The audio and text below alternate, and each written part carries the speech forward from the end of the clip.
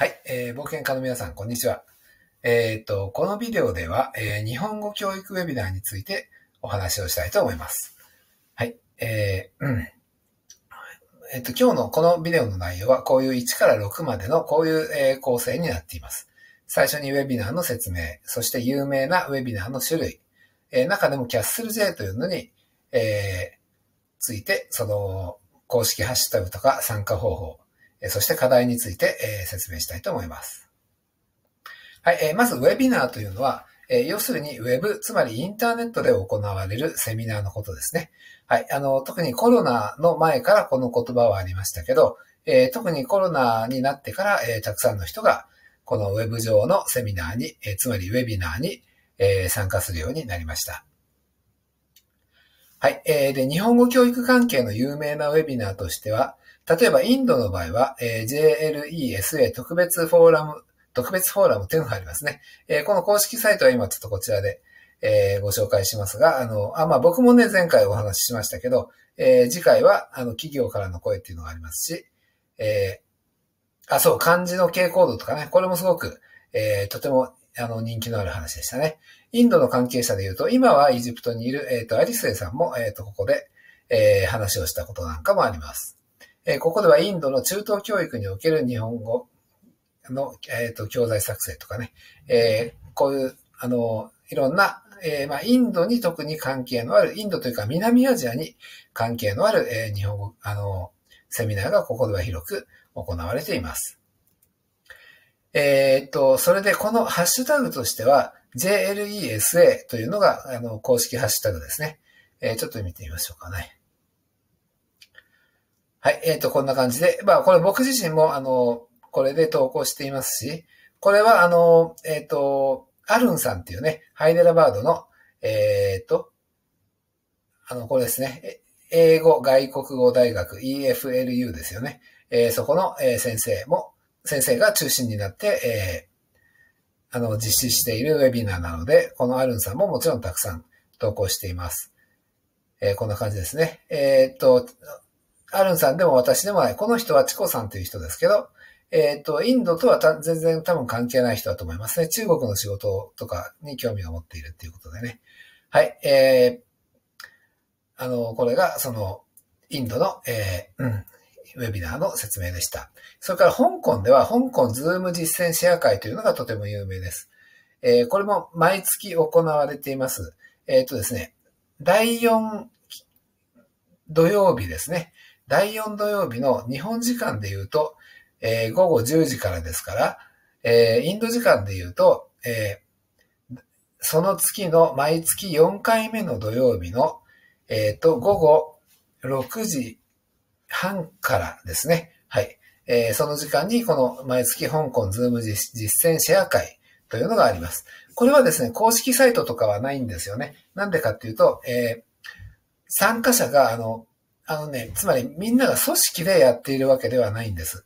えー、みんなが、あの、集まってやっている、あの、えー、勉強会とか実践シェア会なので、えー、それで特に公式、あの、サイトっていうのはありません。はい、だけど、例えば、あの、ツイッターではこの HK Zoom シェアというのが、あの、HK Zoom シェア、まあ、HK は香港ですね。香港 Zoom シェアというのが、あの、とても、えー、使われている公式ハッシュタグですね。はい。まあ、こんな感じで、今日も3時間前に、このモッチーさんという人が投稿していますね。えー、まあ僕も、あ、これはですね、これ、僕が、あの、このビデオを作るために質問したんですね。えー、すいません。あの、あのこのハッシュタグと YouTube チャンネルの他に公式サイトはあるのかというふうに聞いてみたんです。えー、そしたら、あの、この、えー、もっちーさんという、まあ、もちづきたかこさんという人ですけど、えー、こういうふうに公式サイトはありませんよというふうに、えー、コメントしてくれたりしていますね。はい。で、同じように、あの、これ同じ回なんですけど、日本語では、ハッシュタグ、ズームで実践シェア会、こういう名前の、あの、別のタグもあります。これどちらがいいのかっていうと、ちょっとよくわからないんですけど、でも、あの、これ、これもこれも一緒に使っている人が多いですね。はい。えー、はい。これはだるまさんとか、こちらの方が、この日本語の方がもしかしたら、たくさんの人が、えっ、と、使っているかもしれません。はい。こんな風にね、申し込みましたとかいうふうに、え書いている人もいますね。はい。で、あの、この、えっ、と、香港ズーム実践シェア会は、えっ、と、YouTube もあります。で、YouTube チャンネルで、えー、あの、録画があるんですね。あの、これは毎回、その、セミナーの様子が録画されていて、その、ライブで参加できなかった人も後から、えー、この動画を見ることができるようになっています。はい。あとはですね、もう一つ定期的に毎月やっているようなものとしては、タイの AJLET っていうのがあります。ただ、これはちょっと有料なので、私の方から皆さんに必ず参加してくださいというのはちょっと言うことができませんね。はい。えー、ですけど、まあ、あの、ここはしっかりした、あの、組織なので、えー、こういう公式サイトもあります。はい。で、えっ、ー、と、これも毎月ですね。毎月こんな風に、えー、例えばこれは8月でしょ？で、7月とか、あの、じゃあちょっと待ってね。霊界年次戦、あ、これは霊界っていうのはこれかな？えー、ちょっと待って。あのね、霊界っていうのは確か毎月あるやつだと思います。あ、これは年次セミナーばっかりか。はい。えっ、とね、ちょっとね、ごめんなさい。あの、このウェブサイトはよく見てないので、えっ、ー、と、どこに載っているかはわからないんですけど、でもね、えー、これも、あの、AJLET っていうこういうハッシュタグで、えー、新しい、新しい情報をいつでも、えー、もらうことができます。え、っとね、あ、そう、今度はいつだったかな ?8 月の5日に、え、っと、このアモスンという名前のあの人が、えー、あの、うん、この AJLET で、えー、話をすることになっているんですね。えっ、と、共同学習とか、ピアワーキングとか、あの、ピアライティングとかピアリーディングとかですね、えー、コラボレーションとかそういうのに興味がある人は、これとても面白いので、お勧めをしたいと思います。で、この村木さんという人が、あの、一番、えっ、ー、と、多分中心的に、えー、この AJLET のウェビナーを、あの、運営している人ですね。はい。これは前回の、えー、あの、お礼をこの村木さんが書いているところです。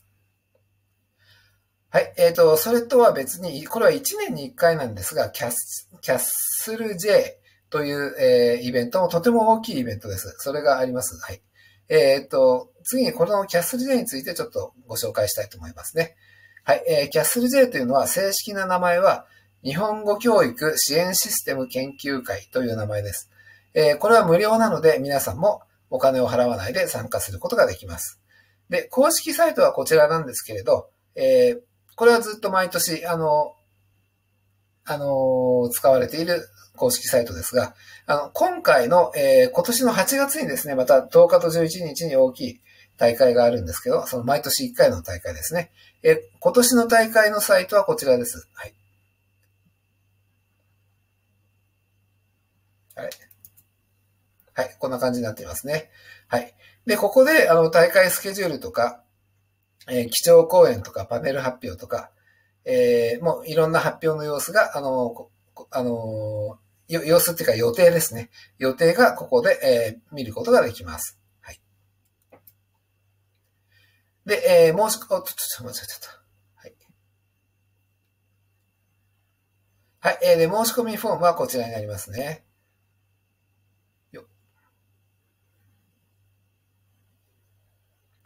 はい、えっ、ー、と、ここに、えー、あの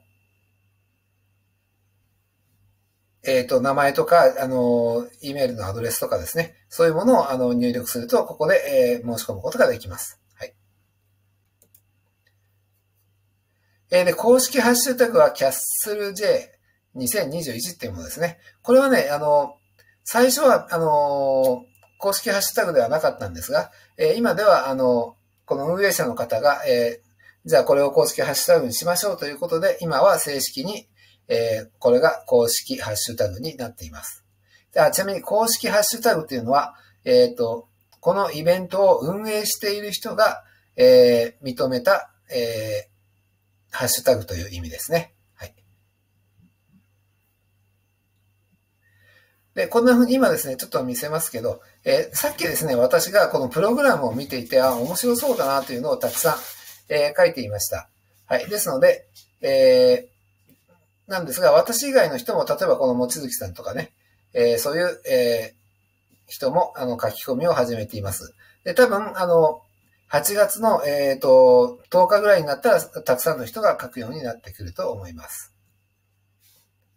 はい。で、えっ、ー、と、この、あの、まあ、他の、あの、まあ、いろんなイベントがあるんですが、特にこのキャスキャッスル J は、えー、とても大きなイベントで、えー、たくさんの人が参加するだろうと思いますから、ぜひ皆さんにも、えー、参加してほしいと思います。で、これがツイッターにどう関係があるのかというと、さっきのあの公式ハッシュタグでいろんなコメントをみんなが書いたりするんですね。それで、あの、えー、あの、このツイッターで、えー、日本語教師ね、他の日本語教育の関係の人と知り合うにはとてもいいチャンスになりますから、ぜひ、えー、あの、皆さんもこれに参加して、その感想とかを、えー、ツイッターで、えー、書いてほしいと思います。で、その時にその公式ハッシュタグを使うといいという意味ですね。はい。で、課題、今ちょっと申し上げましたけど、もう、あの、もう一度申し上げます。えっ、ー、と、さっきの参加申し込みフォームから申し込みをしてください。このキャッスル J にね。で、これは無料ですから、あの、お金を払う必要はありません。で、プログラムがあります。ちょっとこれも開いておきましょうか。えー、全体スケジュールで、例えばこの人が基調講演、キーノートですね。キーノートスピーカーがこの伊佐原先生という人ですね。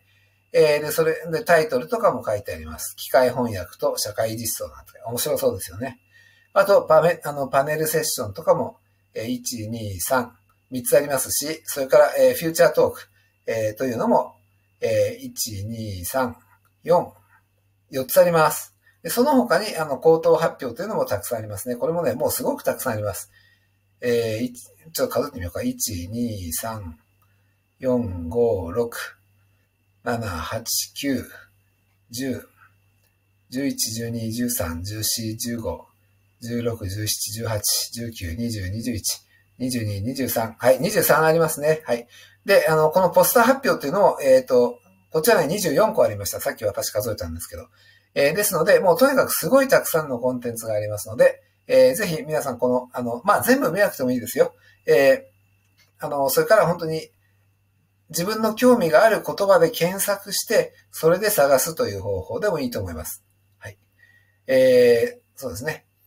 そういう方法でもいいので、とりあえずプログラムを見て、えー、面白そうな発表を一つ選んでほしいと思います。そしてツイッターにこの、えー、公式ハッシュタグですね。これを入れて、えー、なんとかという、えー、発表を聞いてみたいです。というふうに書いてみてください。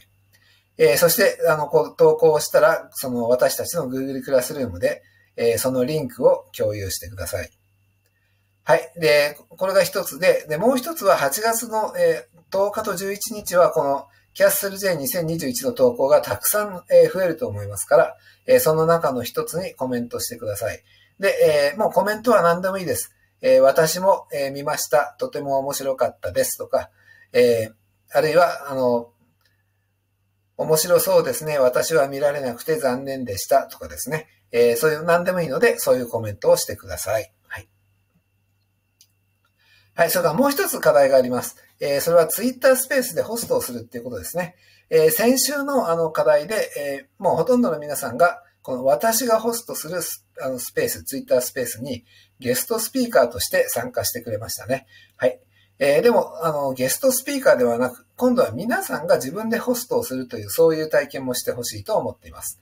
えこのコースが終わるまでに、自分でもスペースを、えー、ツイッタースペースをホストしてみてください。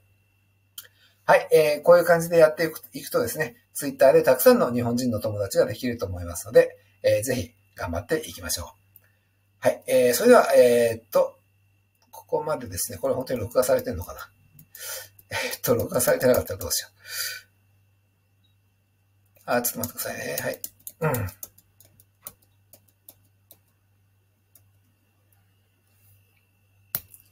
はい。えー、そして、冒険は続きます。